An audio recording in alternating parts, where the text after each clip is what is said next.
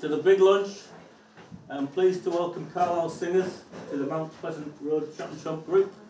Um, and we've got a special guest from the big lunch who's going to say a few words about the big, big lunch, Paul Smalley.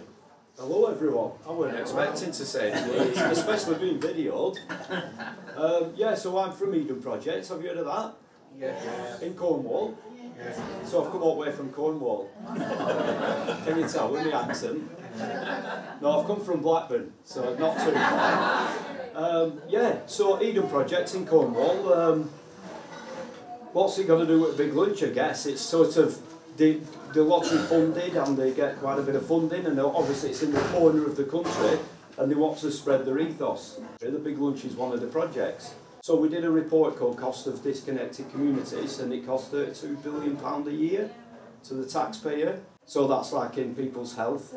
So like people who are lonely, isolated, they die 15 years younger and the crime rates are higher where communities aren't connected and things like that. So the big lunch is about getting people together again, just through food, because everybody likes food, don't they? Yeah. So, yeah, that's about it with a big lunch. It's just a really simple project, and it's just about people coming together, getting to know your neighbours, sharing stories, having a bit of pride in your community, doing things like this. Any questions about it, just ask me, and I probably won't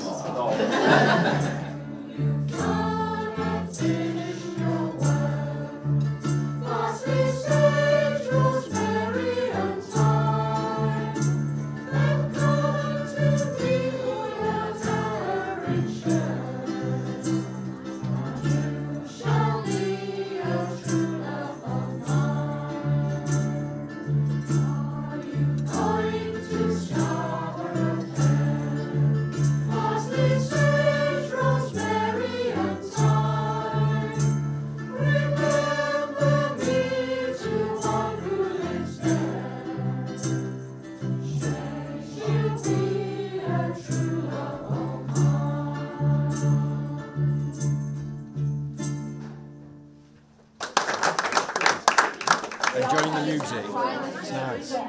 it's always first weekend in June, yeah. so I get to visit them all. But obviously, some people can't have them at this time. Yeah. So yeah, I'm going to Newcastle straight after this to another event. Oh yeah, yeah. which will be good. More food.